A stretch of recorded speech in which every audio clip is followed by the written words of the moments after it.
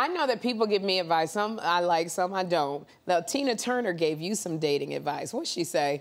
I don't know if it was dating advice. I think I took it as a life advice. Okay. She goes, girl, uh, listen, Tina Turner. and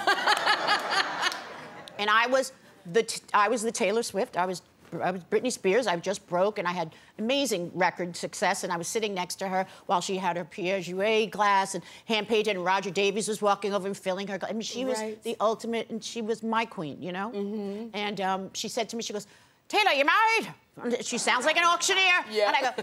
No, no, no, no, I'm not. I was probably 24 years old. She goes, hmm, what do you think the problem is? And I go, I don't, I don't think there's a problem. I think I'm, I'm living the dream. And she goes, ah, you're Jewish, it's Italian. What are you? And I said, I'm, I'm, I'm Jewish actually and Italian. She goes, oh, well, that's the problem with you Jewish girls. You got no patience.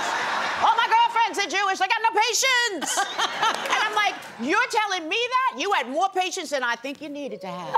And I go, I love you. Thank you for this life advice. It's crazy. I love it. But spot on. oh my gosh. And then she recorded a song of mine and made it number one all throughout Europe and America. So I was like, I love you even more. There you go. We're gonna have a good time. We're gonna have a good time.